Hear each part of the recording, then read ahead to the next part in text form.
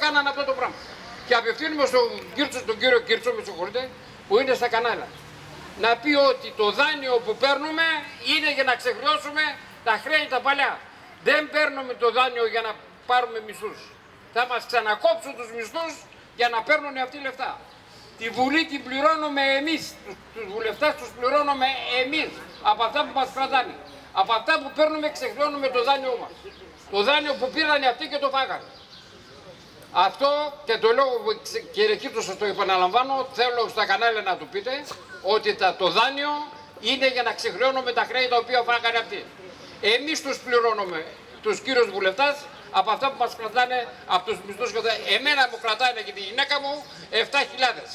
7.000 από τα δώρα και από αυτά. Τα οποία πληρώσαμε, τα πλήρωσα από την τσέπη μου.